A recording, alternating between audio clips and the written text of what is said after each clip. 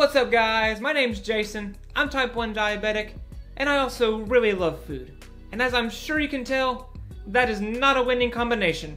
Do you know what is a winning combination though? Pizza. The pizza combinations are the best flavor. They are magnifique. Now recently, Kellogg's has released a new combination themselves. They took a popular dessert and they put it within a popular pastry. That's right, I'm talking about lemon cream pie Pop Tarts. Now, this is actually one of three new flavors that Kellogg's is releasing.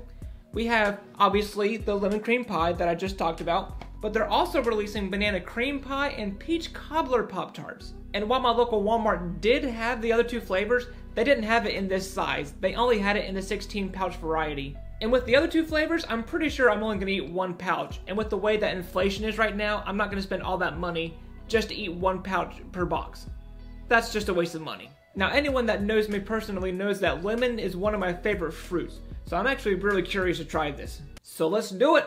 And this is what it looks like. It honestly looks like someone just put melted butter on a Pop Tart.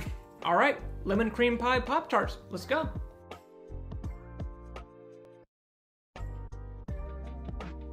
This is actually better than I expected. Now, while I don't love the flavor, I don't think it's great.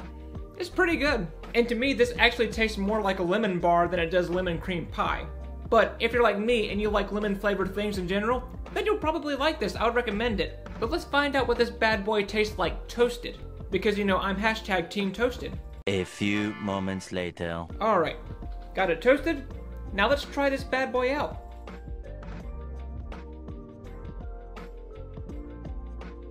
Yeah, it's even better toasted.